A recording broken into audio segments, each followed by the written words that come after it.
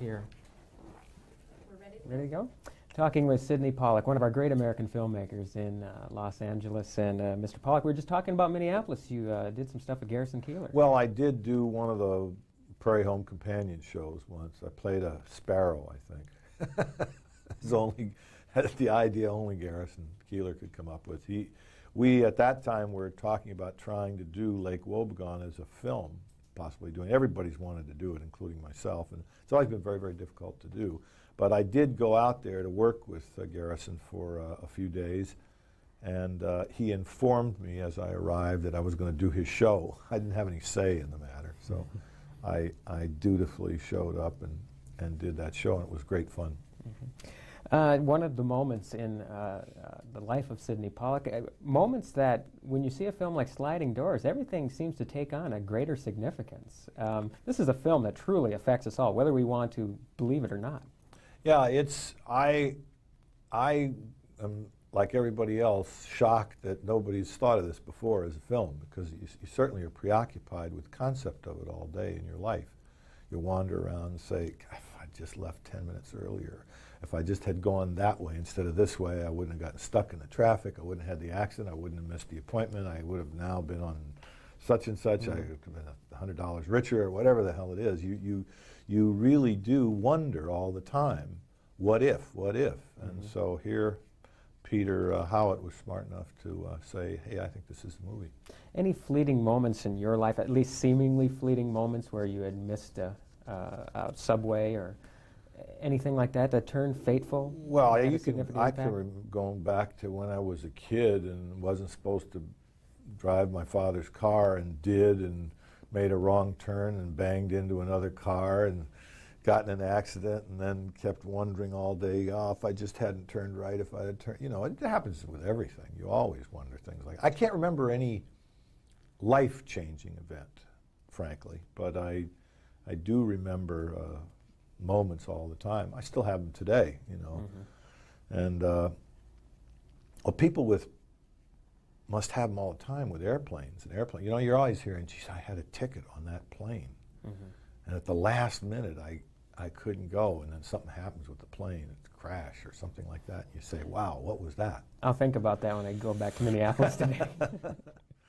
um, okay, and then having said that the film, the, the thoughts about this film don't begin and end with this film. We have to go on with our lives. Um, watching it, living it, um, thinking about the future, are you going to approach things with a little greater caution now, knowing that things that I do. I mean, you could probably drive yourself crazy that way. Well, that's that's the problem. You know, you don't you live your life and you take your chances, but you do always second guess yourself a little bit when what you do alters your life in any way, even for the day, even even pleasure, even a flat tire that you picked up by driving over glass when you could have turned left and not, or whatever it is. You, you, that's always mm-hmm. going to happen. But I don't, I don't think you can take those things so seriously that you start living a different kind of life. Let's talk about Sydney the actor. Uh, so very few times, unfortunately for us as viewers. I mean, you made an impact with the fi films you've been in. Are we going to see in more? Or? Well, I, I was last year. I spent some time in London with Stanley Kubrick on doing Eyes Wide Shut, this the new film that stars Tom Cruise and his wife Nicole Kidman. Night before last, I, I, did a.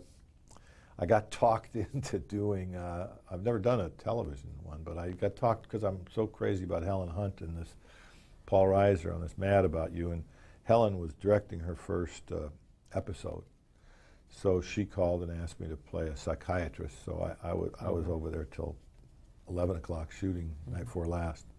Now, I know you're sworn to secrecy about Eyes Wide Shut, so I'm not going to be foolish enough to say, hey, what's it about? but I do want to know, um, as a filmmaker, um, now you're under the direction of Stanley Kubrick. Absolutely, and can you tell me, has your perspective changed as a filmmaker uh, with this experience? Well, you learn from when when you work with somebody as good as Stanley is, you you you do reevaluate the way you work yourself. I mean, it happened working with Woody Allen. It happens working with Stanley Kubrick. It happens when you work with a director who's as much of an individualist and as much of a craftsman and an artist as Stanley is. You, you, you can't help it. One of the exciting reasons for doing it is to get to see the way other people that you admire work. funny thing about directing is you really don't ever know if you're doing it right because you don't get to see other directors work. When you're an actor, you watch other directors and you watch other actors, but as a director, you, you very rarely ever see another director work.